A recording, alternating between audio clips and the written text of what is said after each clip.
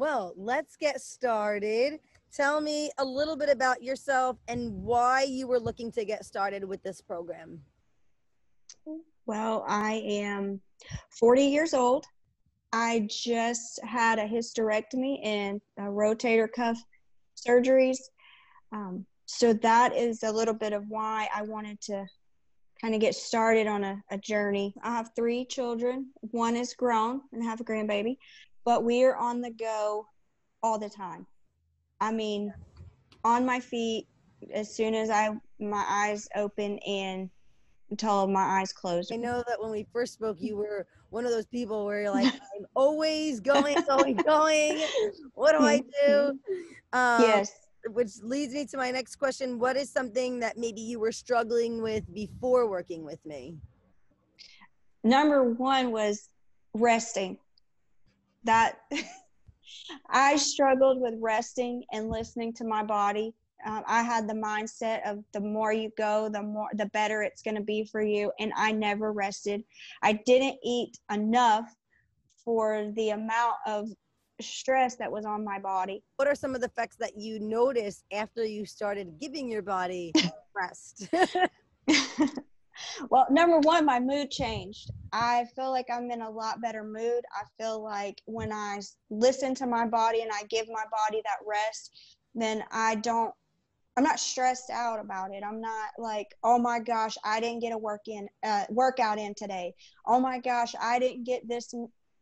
I didn't walk this amount of steps or the things that I always was like, you have to do this and this and this. If I now, if I don't get that in, I'm okay with that. Mm-hmm. Yeah, I, I and I feel like it has lifted a lot of stress off of my body. I feel like it has made me to where I'm not as anxious and moody. What would you tell someone who was thinking about joining my program but was on the fence? Do it. and no, really, I would tell people that there is no amount of money that you can ever put on the value of your life. Um, I know that there's a lot of people that that's a lot of the reason that they're on the fence is the money. I mean, let's just be real. We we're we live here in America. It's the money. Um, that's a lot of the reason that people struggle with committing to something is because they don't want to put that money up front.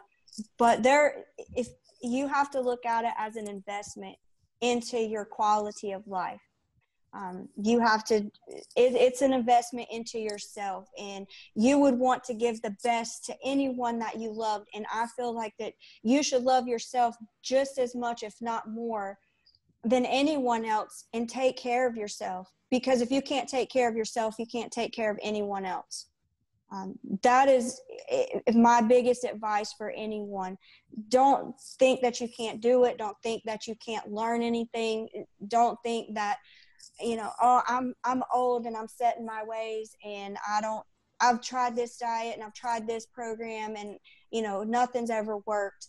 Mm-hmm. This is something that you have to invest everything into. You only get one body. This is it. And if you don't take care of it, you know, what are you doing? Yeah. You, you you know, and there's a lot of women I know out there that um that I myself included, when I first talked to you and I was a little bit on the fence about, you know, oh my gosh, that's a lot of money and my kids this and my kids that. But you know what? My kids see a different me wow. from 16 weeks ago. And my kids would rather me invest that money into my well being, not only physically, but mentally.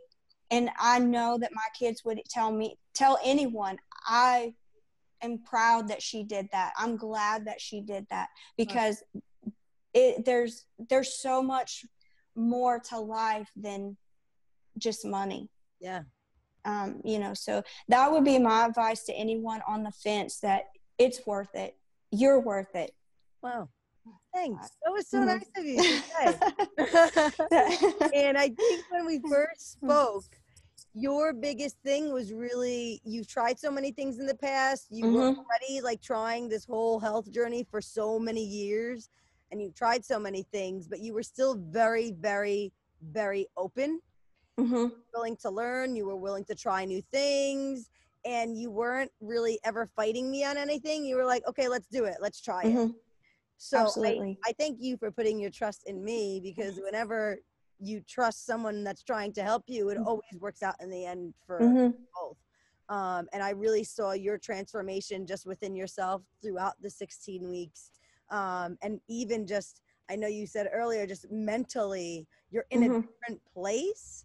Um, and it's pretty cool to see um, the growth because you were really determined to continue growing and growing and getting that knowledge when we first spoke. So um, Mhm. I had a great time working with you. I think we had a fantastic 16 weeks. Um, and I think Absolutely. all your kind words.